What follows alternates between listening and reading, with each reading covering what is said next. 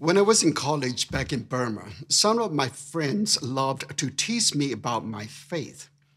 They asked, You guys believe God is almighty, don't you? Can your God make a giant rock that he cannot lift? Without realizing it was a trap a question, I said, Of course he can, since he is almighty. They said, If so, can he then lift it? Seeing I was trapped, they laughed at me.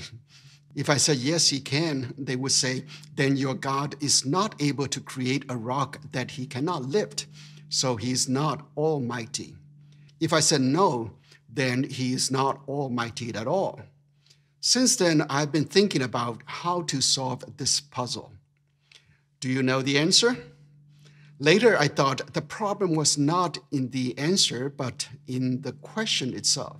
How could you ask someone to create something they cannot lift and then ask them to lift it? The question itself is illogical and unfair. But they said if God is almighty, God should be able to do everything. I was pretty dense to get trapped. Then one day it dawned on me that if God is almighty, then the answer is simply yes to both questions. Can God create a rock that he cannot lift? Yes, he can. Can he then lift it up? Yes, he can. It's not contradictory because God is almighty and transcends limiting human logic. Jesus said, What is impossible for mortals is possible for God. Luke 18 27. He said this after saying, Indeed, it is easier for a camel to go through the eye of a needle than for someone who is rich to enter the kingdom of God. So people ask, in that case, who can enter the kingdom of God? How do camels enter the eye of a needle? Jesus answered, What is impossible for mortals is possible for God.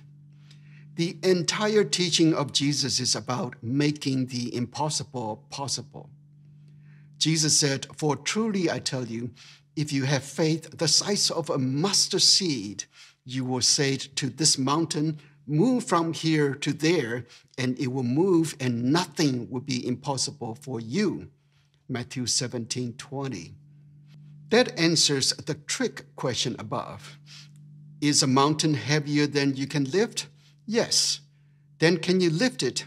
Yes, with only a mustard seed size faith. Can human fly? No. Can people fly today? Yes. We have airplanes. We all know many amazing things have happened because of those people who have risen above limiting beliefs. Most importantly, our limiting beliefs makes us suffer more in this fallen world. Every day we face the reality of this sea of suffering.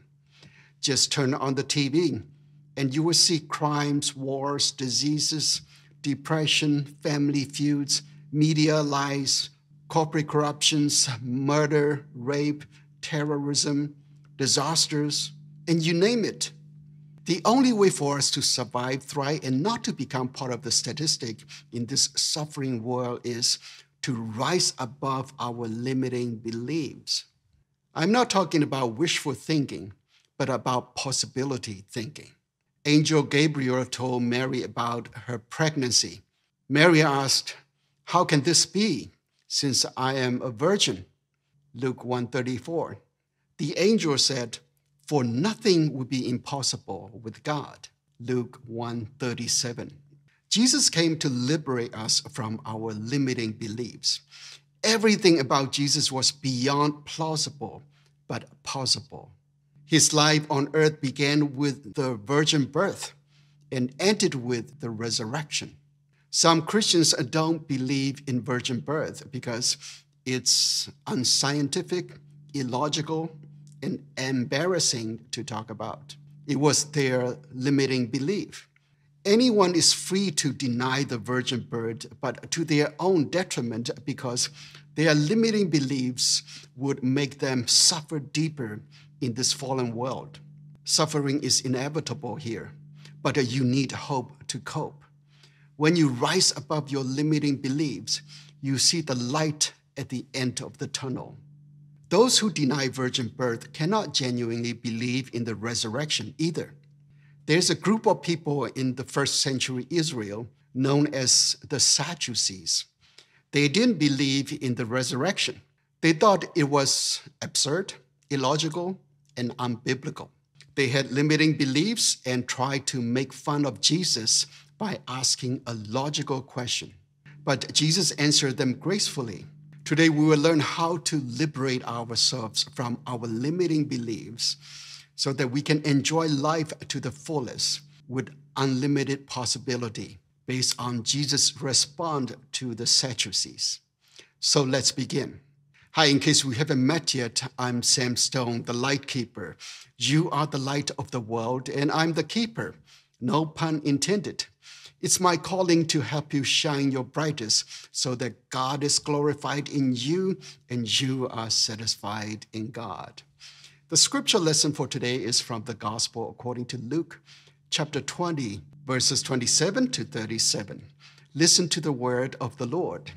Some Sadducees, those who say there's no resurrection, came to him and asked him a question Teacher, Moses wrote for us that if a man's brother dies, leaving a wife but no children, the man shall marry the widow and raise up children for their brother. Now there were seven brothers. The first married and died childless. Then the second and the third married her, and so in the same way all seven died childless. Finally, the woman also died. In the resurrection, therefore, Whose wife would the woman be? For the seven had married her. Jesus said to them, Those who belong to this age marry and are giving in marriage. But those who are considered worthy of a place in that age and in the resurrection from the dead, neither marry nor are giving in marriage. Indeed, they cannot die anymore because they are like angels and are children of God being children of the resurrection. And the fact that the dead are raised, Moses himself showed in the story about the bush, where he speaks of the Lord as the God of Abraham, the God of Isaac, and the God of Jacob. Now he's God not of the dead, but of the living. For to him all of them are alive. Luke 20, 27 to 38. Happy are those who delight in God's word. Thanks be to God. The Sadducees were aristocrats in the first century Israel. They were wealthy and high in social and religious status. Unlike the conservative Pharisees, they were more liberal and did not believe in the resurrection. Throughout history, we always have had two types of people conservatives and liberals, Pharisees and Sadducees, Republicans and Democrats, the right and the left, and so on. It's an interesting phenomenon of human nature. Jesus, however, belonged to the third category, the Essenes, the sect mainly interested in spirituality rather than ideology. The problem with belonging to the third category, like myself, is that you get grilled by both extremes. You also frequently read about the scribes in the Bible as the name implies, they were a group of professional writers or copiers and interpreters of the Bible. It was a profession, but most were likely to be with Pharisees ideologically because they were all conservative scripture scholars at that time. In this chapter, Jesus arrived in Jerusalem and started teaching at the temple. Every day, some people ask him trap questions hoping he might give a self incriminating answer so that they could arrest him. Some of them were spies sent by the scribes and Pharisees. The passage above says So they watched him and sent spies who pretended to be honest in order to trap him by what he said, so as to hand him over to the jurisdiction and authority of the governor. Luke 20 20. But Jesus was able to answer their trap questions gracefully. So they became silent. Verse 26 says, And they were not able to, in the presence of the people, to trap him by what he said. And being amazed by his answer, they became silent. Luke 20, 26.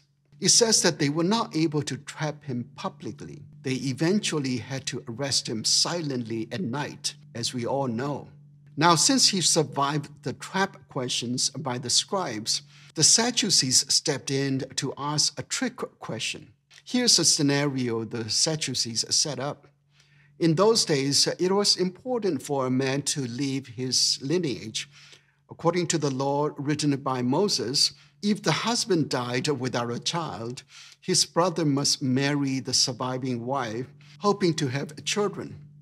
Unfortunately, all seven brothers married this woman and died. This scenario helps us uh, interpret the story of the Samaritan woman Jesus met at the well. I hope you remember that story. After a brief conversation, the woman recognized Jesus as a prophet and asked for living water. Jesus said to her, Go and call your husband and come back. The woman answered him, I have no husband. Jesus said to her, You are right in saying, I have no husband, for you have had five husbands, and the one you have now is not your husband. What you have said is true. John 4 16 to 18. Many interpreters assume this woman was a prostitute, but the context shows that she wasn't because she later ran into the village telling people openly that Jesus knew her life. If she were a prostitute, she would have been stoned to death then for exposing her story.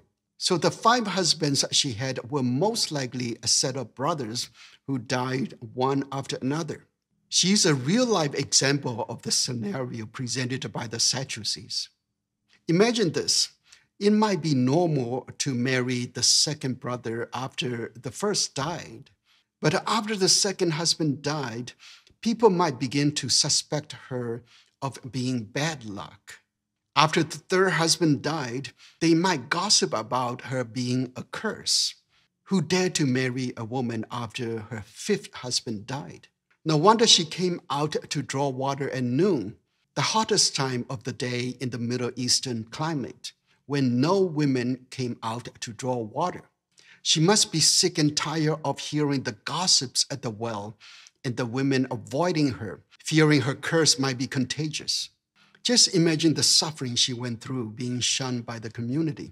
However, based on the way she talked to Jesus, we can see that she did not have a limiting belief. She was also biblical literate enough to immediately recognize Jesus as the Messiah, much better than the Pharisees and Sadducees who knew the Bible but failed to recognize Jesus. Now, the Sadducees asked a logical question. In the resurrection, therefore, whose wife would the woman be? For the seven had married her. Verse 33. Don't you think it's a good question? However, it's a question from a human perspective.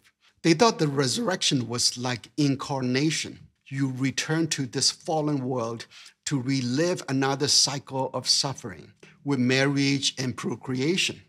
Their imagination was earthbound and trapped in their limiting belief. No wonder the Sadducees disappeared after the destruction of the temple in 70 AD or CE. Their fate died with a tragedy because they had limiting beliefs. Jesus said to them, Those who belong to this age marry and are giving in marriage, but those who are considered worthy of a place in that age and in the resurrection from the dead neither marry nor are given in marriage. Indeed, they cannot die anymore because they are like angels and are children of God being children of the resurrection. Verse 34 to 36. Jesus explained the reason for marriage is for procreation because we don't have eternal life. But in the resurrection, we enter the eternal kingdom of God. Since we don't die anymore, there's no need for marriage and procreation. We will be like angels and live as eternal children of everlasting God. Another reason the Sadducees didn't believe in the resurrection was that they recognized only the Torah, the first five books of the Bible written by Moses, as the Holy Scriptures, in which the resurrection was not explicitly mentioned. So Jesus explained to them that Moses himself revealed eternal life when he told the story of the burning bush.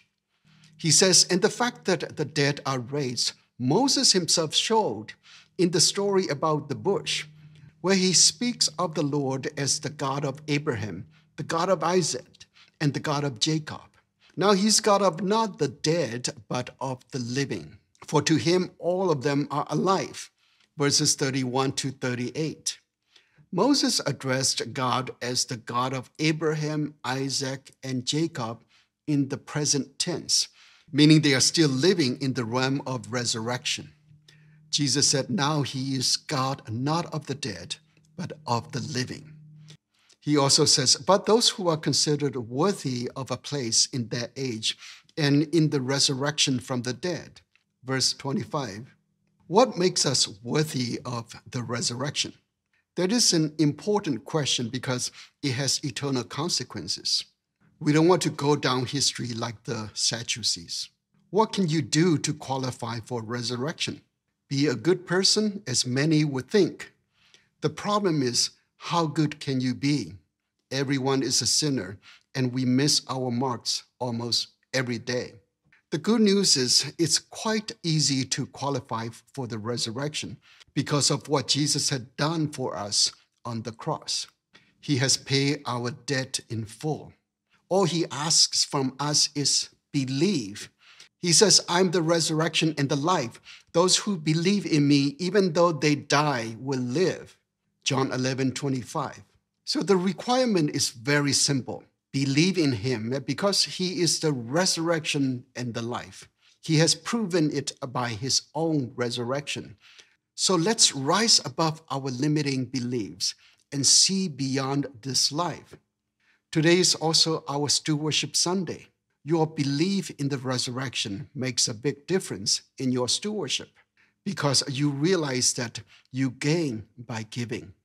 As Jesus said, your contribution on earth are like an investment in the kingdom of God that pays eternal dividends and nobody can steal from you.